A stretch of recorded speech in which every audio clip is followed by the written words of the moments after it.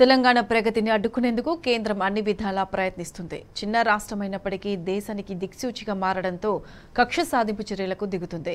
BJP పాలిత రాష్ట్రాలతో పోలిస్తే తెలంగాణ అన్నిటా ముందు వరుసలో నిలవడంతో అక్కసు వెలగక్కుతుంది.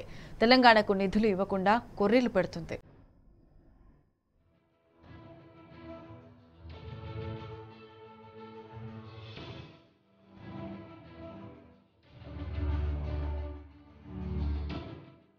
అభివృద్ధి నిధులు పథకాలు ప్రాజెక్టుల మంజూరు సహా అన్ని అంశాల్లోనూ తెలంగాణపై కేంద్ర ప్రభుత్వం ఆదరించి వివక్ష చూపుతోంది. బీజేపీ పాలిత రాష్ట్రాలకు పెద్దపీట వీస్తూ అభివృద్ధిలో పురోగమిస్తున్న తెలంగాణను విస్మరిస్తోంది. తెలంగాణ ఏర్పాటైన రెండు వేల పద్నాలుగు నుంచే నిధులు ఇవ్వకుండా కొర్రీలు పెడుతోంది. తొమ్మిదేళ్ళుగా గ్రాంట్ ఇన్ ఎయిడ్ సరిగా ఇవ్వకుండా అవస్థలు పెడుతూనే ఉంది. ఈసారైనా కేంద్రం తీరు మారుతుందని ఆశిస్తున్న తెలంగాణకు ప్రతి ఆర్థిక సంవత్సరం మొదటి నెలలో నిరాశ ఎదురవుతుంది.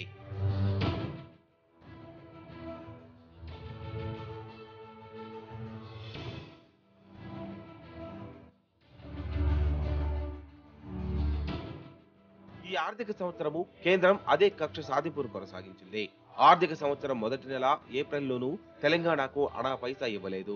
మిగిలిన రాష్ట్రాలకు మాత్రం ఎంతో కొంత చేయూతనిచ్చిన కేంద్రం తెలంగాణకు మొండి చేయి చూపింది. రెండు వేల పద్నాలుగు నుంచి రెండు వేల ఇరవై మూడు వరకు కేంద్రం నుంచి రెండు లక్షల రెండు వేల తొమ్మిది వందల నలభై ఏడు కోట్లు గ్రాంట్ ఇన్ ఎయిడ్ రూపంలో వస్తుందని తెలంగాణ అంచనా వేసింది.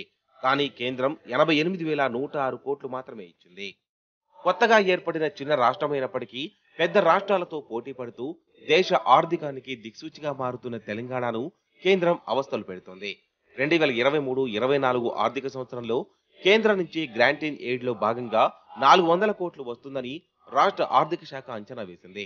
అయితే కేంద్రం మాత్రం ఒక్క రూపాయి కూడా విధించలేదు. బీజేపీ పాలిత రాష్ట్రాలైన గుజరాత్కు నూట పద్నాలుగు కోట్లు మధ్యప్రదేశ్కు ఆరు వందల పదకొండు కోట్లు ఉత్తరాఖండ్కు ఆరు వందల ఇరవై ఎనిమిది కోట్లు త్రిపురకు మూడు వందల యాభై రెండు కోట్లు మహారాష్ట్రకు తొంభై ఆరు కోట్లు అందజేసింది. బీజేపీ ఇతర రాష్ట్రాలైన పంజాబ్కు నాలుగు వందల అరవై ఎనిమిది కోట్లు కేరళకు మూడు వందల తొంభై ఆరు కోట్లు ఛత్తీస్గఢ్కు డెబ్బై ఆరు కోట్లు గ్రాంట్ ఇన్ ఎయిడ్ విడుదల చేశారు. మిగిలిన ఇతర రాష్ట్రాలకు సైతం ఎంతో కొంత గ్రాంట్ ఇన్ ఎయిడ్ అందించారు. కానీ తెలంగాణపై మాత్రం కక్ష సాధింపును కొనసాగించారు.